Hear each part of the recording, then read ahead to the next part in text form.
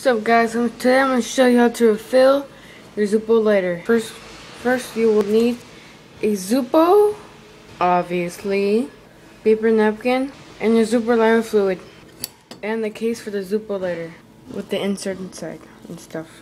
Yeah. First, what you're going to want to do is get your lighter fluid and open the top. This will take a while, so I'm just going to pause the video again and start later. Okay, I've done that. Once you did that, want to take your inserts out. Then you're gonna want to do that. Want to take the top like that. You want to do that. I recommend from this guy here. Let me show his channel. That's his channel. Go to his channel. Check him out. Subscribe to him. He's a very nice guy. Yeah, suggestions from him. And then you're gonna want to put it in there, like so. Like he said in this video, so I'm just gonna do that. And you're gonna want to make this lift off with just your case, like I'll do it right now. I use my case just to open it like that. It's a naked case, make it insert. Okay, after that, you're gonna want to um, lift this, twist it off. There it goes. When it pops up, it means it's out. Then you're gonna want to lift this with something sharp.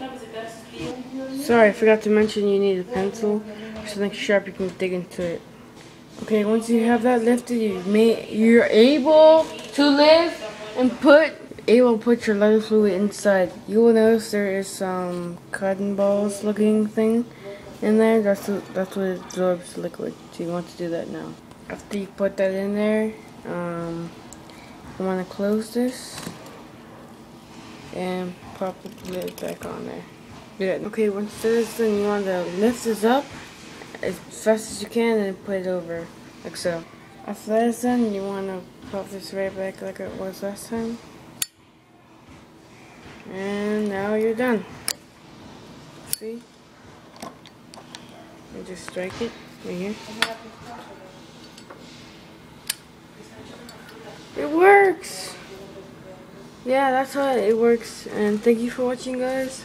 I hope, um, I hope you're, you're watching this video. I hope, because I made this for you, especially. And yeah, have a good day. See you later.